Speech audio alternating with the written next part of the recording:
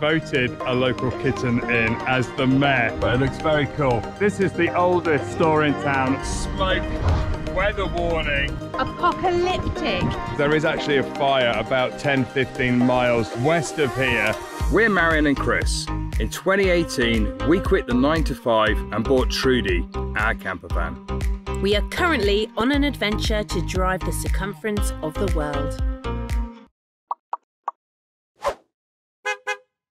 So after another night's sleep here in Anchorage at Cabela's, it's very nice that they let us sleep over, to be fair. It's very, very generous. We're going to be heading north today, um, up to a town called Talkeetna. I think I've pronounced that right because it looks very, very cool. Um, our friends Sam and Andy and the kids, they went north a bit yesterday. They parked up outside a library to do schoolwork. The joys of traveling with your kids, but shows that it is possible. And they are awesome, awesome parents dedicated to giving their kids life lessons, school lessons, just love. It's wonderful. They are, but we're gonna go. We're gonna go and catch up with them on the way out of Anchorage. We're gonna see if we can find propane. It's another beautiful day here in Alaska. The sun is shining, and it's still light at midnight.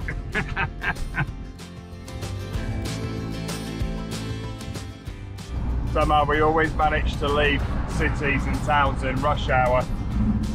I'm not sure how we do that. We always plan to leave either before or after, but today I was enjoying my bed waiting.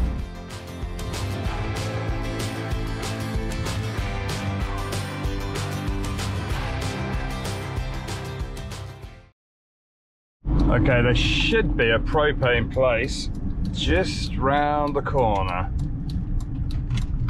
Let's have a look. Propane! Lovely. Suburban propane. That looks good. I'll have to turn the cameras off because you can't have the camera on when you're filling up propane because you'll go boom. Well, that didn't go too well. They're closed, even though it says they're open online. Never mind. Okay. We've just put in another one. Okay, so we've come down to Fred Meyers and they should, if all goes according to plan, have propane. Okay, no propane. My Google search ain't going so good. It's gonna be one of those days today, isn't it? Okay, propane attempt number three. We're going to U-Haul. We're going round the mulberry bush. we are today. U-Haul. Propane. Is it open? Yes. Okay, this is looking more hopeful. Ring the bell. And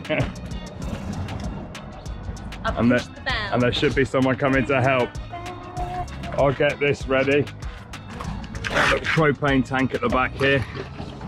Put that one in. Our little adapters. Some days you should just go back to bed. Okay, they've run out of propane. Trudy, you've scared them off. They've all run. Right, uh, I'm not really sure what the what the thing is now. We'll just have to try and find some on the way up, I think. Um, but we should be in Fairbanks in a couple of days, so maybe it will last till then. So we're going to start um, our journey up towards Talkeetna and hopefully we find some propane on the way.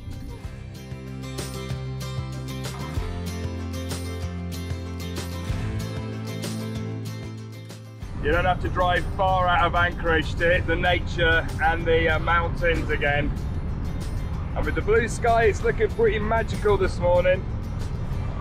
And if you're road tripping through Alaska, watch out for moose. We've just passed a sign that said in the last year, 280 moose were hit on this stretch of road alone. And they're big. They would do a lot of damage to your car or van. Probably wouldn't do the moose any favours either.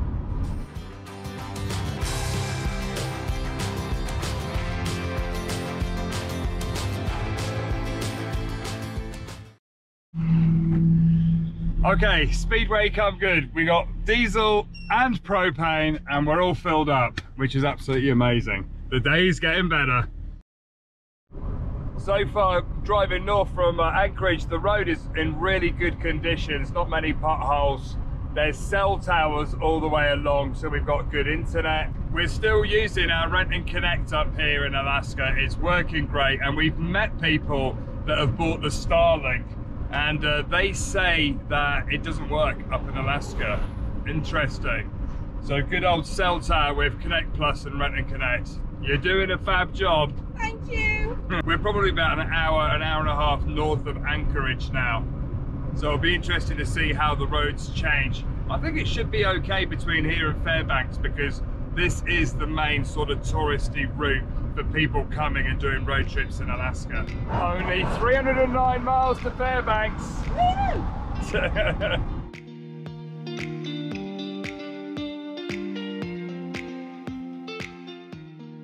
So we just tested our walkie-talkies. It said it had a 20 plus mile range and uh, we're on 20 miles. We're gonna see uh, when it comes into, into, into use. Tread calling, barking mad. Tread to barking mad, come in. Tread to close to barking mad, come in. Nope. Marianne said it might work better if I'm outside the van. Tried to go to Barky Bad. nope, didn't work, love. No. Tread to Barking Mad, tread to Barking Mad, come in. Only five miles away and it's still not working. Oh, I can hear a bit of fuzz coming. It's a crackle. We're only a mile, 1.2 miles away now. Oh, I can hear you. It works. All right, we made it. Okay, copy made. We're hitting the road again, and we got about a 45 minute drive to Talkeetna, Talkeetna, I think we'll Talkeetna. ask somebody local how they do it. It's a hard one to pronounce.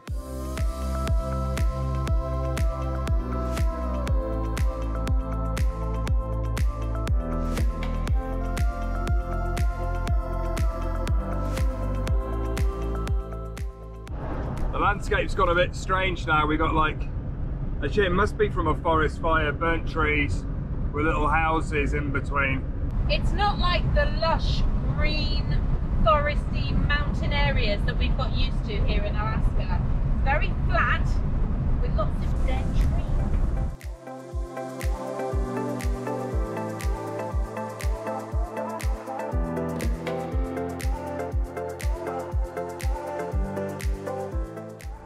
Decided that here in uh, Northern America, standing by the side of the road with a stop sign must be a bit of a punishment job because your arms ache, it's hot, and there's mosquitoes And bears. and bears.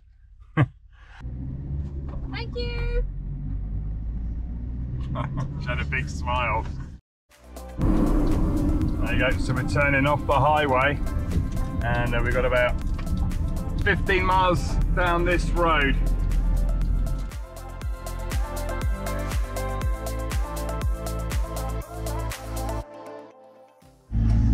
After driving so long and just suddenly coming to a really busy little town, but it looks very cool. Obviously very touristy, but looks fabulous.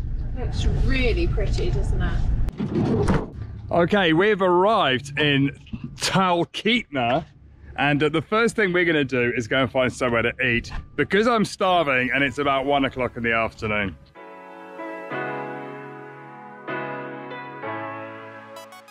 So we've come to the Mountain High Pizza Pie restaurant here.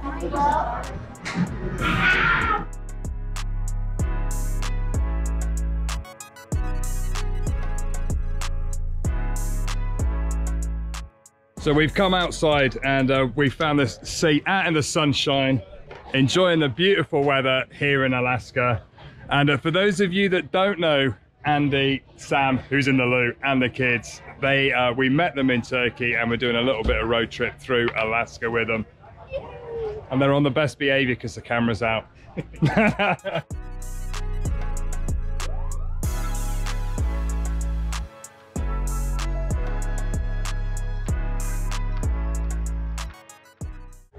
Okay, we're refueled. We've had lunch and uh, now we're going to have a wander around the town. But the first thing we need to do is we need to figure out how to pronounce the name of this town.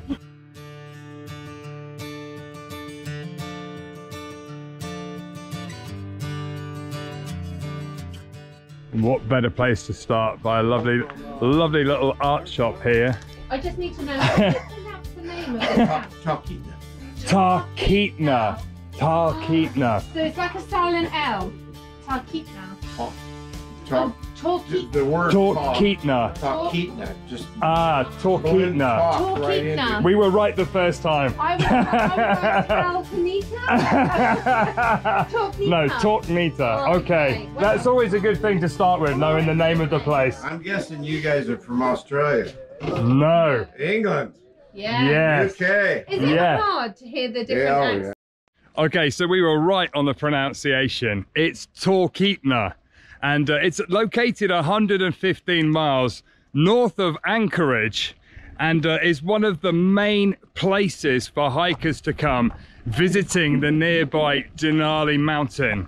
Which is America's tallest mountain at over 20,000 feet. Wow, that's pretty high. So normally from this point, you can see the different mountains here, with Denali being the biggest. But today, it's a little bit hazy. So this is the Susitna River, and back in 1896, gold miners arrived here. And by 1910, this was one of the main supply routes to the nearby miners. And this is a seriously big river. I cannot believe how fast that water is flowing. Oh, so this this isn't the width, it goes like beyond. This is just one this is braided. leg off. This one is braided one off. channel. It's a big river. That's absolutely fantastic. The uh, the wife of the gentleman we were just talking to, she's got her best friend lives in Shrewsbury, which is where I used to work. And what is the chance in that? And one of the fun things you can do here in town is take a boat trip out on the river, and then you'll see really how wide it really is.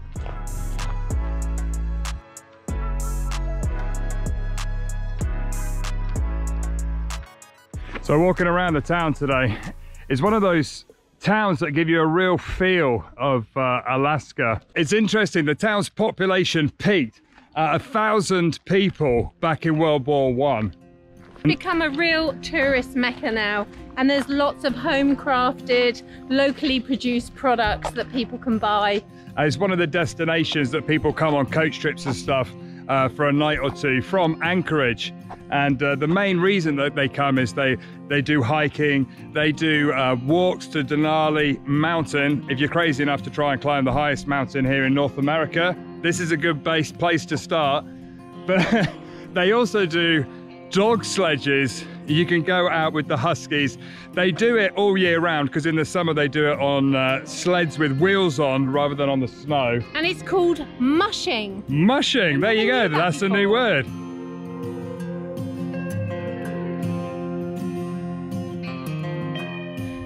the blue flag with the eight stars actually depicts the big dipper which is the big bear and that is the alaskan state flag It's got a very cool feel walking around town. Look, it's a little old VW there next to a cabin. Food truck, which is one of the, uh, looks like one of the old Airstream caravans.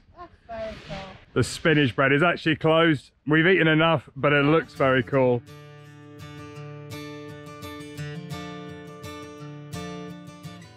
If you look on TripAdvisor, Roadhouse is one of the top places to eat. But unfortunately, just like so many other businesses in the pandemic, it shut down, but it still does lodging and laundry. But that doesn't stop you finding a good place to eat because all around town there are lots of cool, funky restaurants. And brew houses. They're Brew everywhere. houses.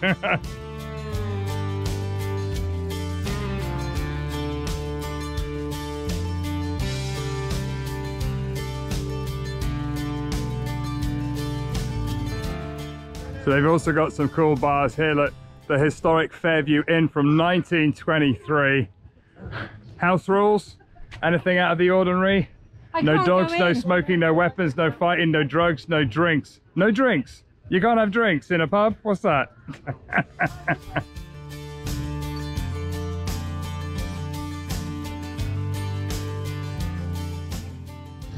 and then I think this is the oldest store in town, Nagley's store here from 1921. 1921.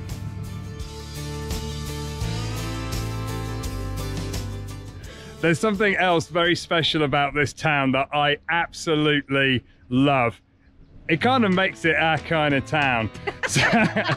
so, so back in 1997, uh, for the mayor's election, Well, we all know the qualities of a good leader like dedication, assertiveness, and likability. the uh, the people of the town couldn't actually make a decision. They didn't like any of the candidates. So what they ended up doing was they voted a local kitten in as the mayor, who they called Yeah, the kitten was called Stubbs. Yes, yes. yeah. It's a cat. That's right, a mayor cat. And it was a little ginger kitten. Yeah, and uh, Stubbs the kitten was uh, was the mayor for 20 years. This is my kind of town. they also have a couple of very cool festivals. Uh, every July, what they do is they load a helicopter up with moose dung. They throw it from a helicopter, and people on the ground bet where it's going to land. That's kind of fun. That is great fun. And more Marianne style, they have a strong woman contest every year where women throw firewood, uh, a bit like the Scottish Highland Games. It Would be. and uh, and they also go moose hunting. Maybe not Marianne's I'll probably thing. have to protect the moose.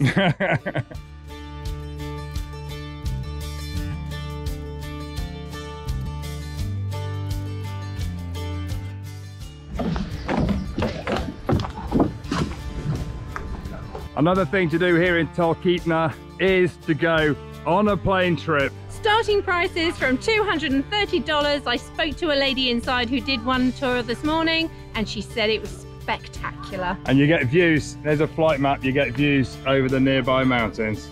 And what's really cute along this little area is they have a moose outside each property advertising the service inside. There you go.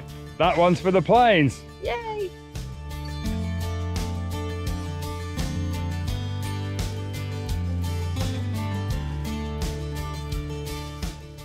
We're just walking and uh, we heard some noise. There's a plane about to take off.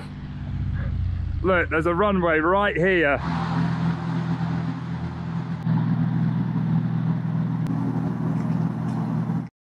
So after a fantastic walk around Talkeetna, we've now jumped back into Trudy and uh, we're following Colin, the other van, because we're heading towards Denali National Park.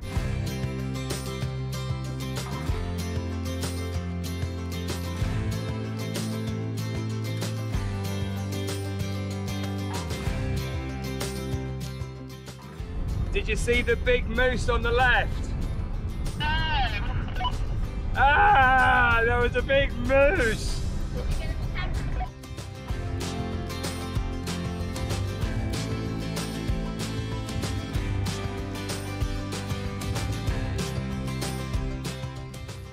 Wow, look at these views. It is very hazy today. Our friends Sam and Andy just said they checked their phone. There is actually a smoke weather warning uh, in force from here all the way to Fairbanks. So uh, there's obviously quite a lot of fires.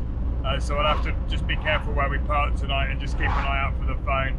It's that time of year when wildfires do take hold and uh, you can just start to smell it. Can you smell it? Yeah, I can smell it now. It was just sort of like a haze, but now you can actually smell it. I can't believe they've got wildfires even in Alaska. It's so wet and cold up here. How is, how is that? So from here we should be able to see the mountain, but the smoke is so bad that the visibility is pretty well zero. There are other mountains on the side here as well, but you can't see any of them. So we may not be getting the best shot of Denali today.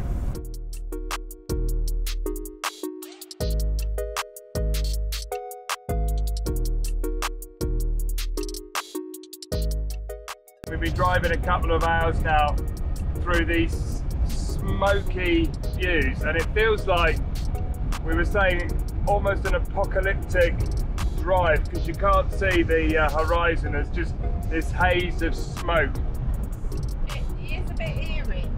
Yeah, you can just catch the shadow every now and again of the mountain ranges over there and the snow that's still on the mountains. sort of just highlights the curves. But it's really bizarre. It's a shame because, like I say, the views here would be spectacular.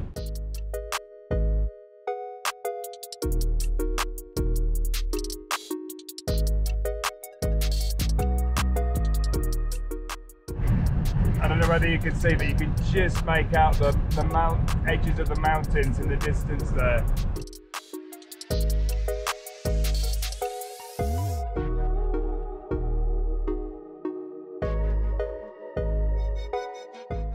Can see now that we're uh, coming down in a valley between the mountains here. And uh, even though it's smoky, it's still, uh, you can tell how epic it is.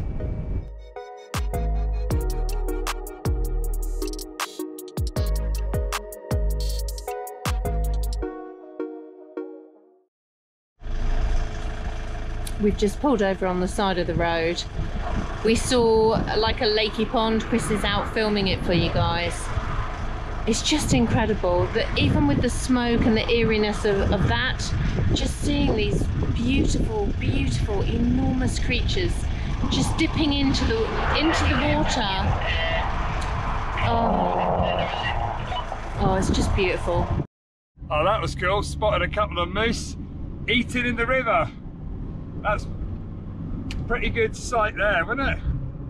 We've just come into this rest area to do a Yui to go back and we've seen this setup and we're thinking because of the fires it looks like a pump water filling only so it's like a pump and that will actually fill up the fire engines.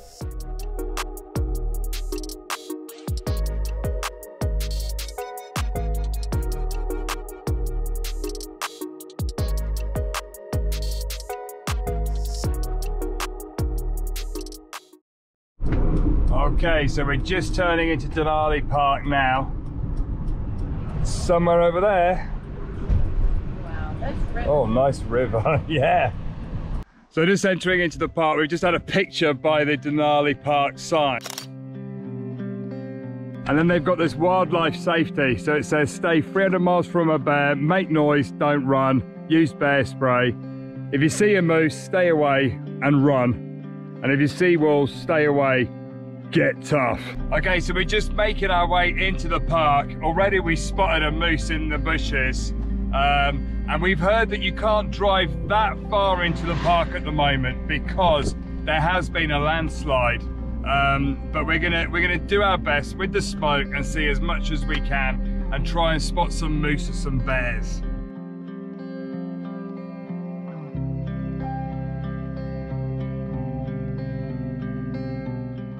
Okay, so we've just come to the visitors centre, uh, and although it's uh, it's quite late in the evening, we're just going to see if it's open, so they can just give us a bit of guidance on where to drive uh, for our little safari trip this evening.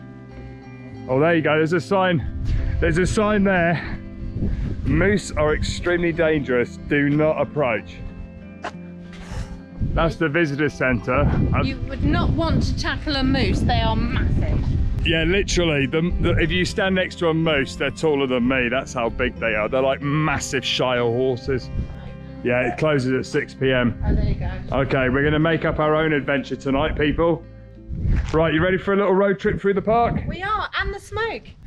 Okay, so we've jumped back in Trudy and uh, we're going to go and drive and see as much as we can. Um, I think we should be able to drive about 16 miles into the park and uh, hopefully, because it's just twilight, never gets dark here in the summer, but it's twilight, which should be good uh, animal viewing time, hopefully. We've said it already, but you can see the mountains there and this drive would be stunning.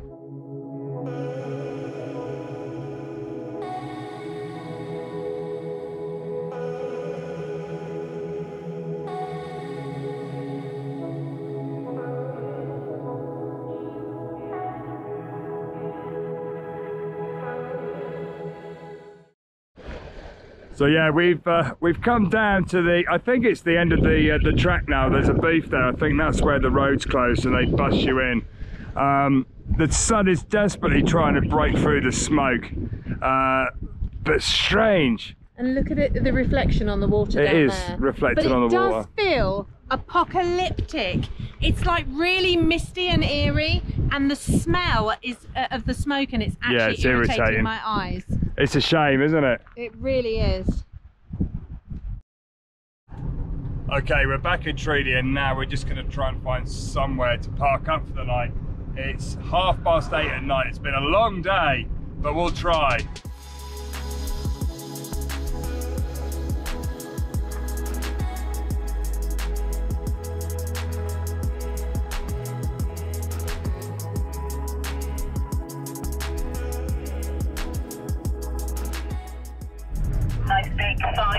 Sign there saying no. It's got a no caravan sign there, so I don't think that one's going to, uh, I think that means no camping. So we'll go on a bit more.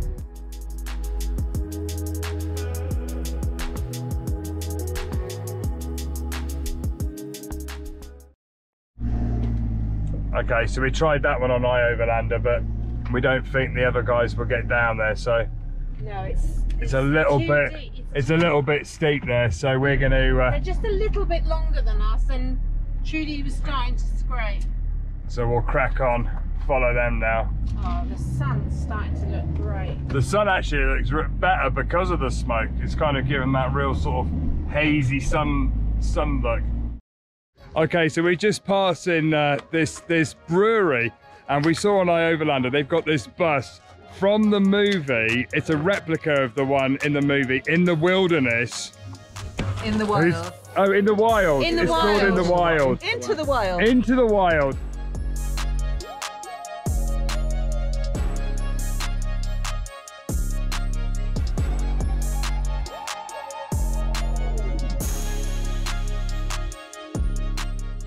What a crazy, hopefully the floor can cope with my weight. And you know it's a real Alaskan bus because it has a smashed windscreen. Yeah, there you go.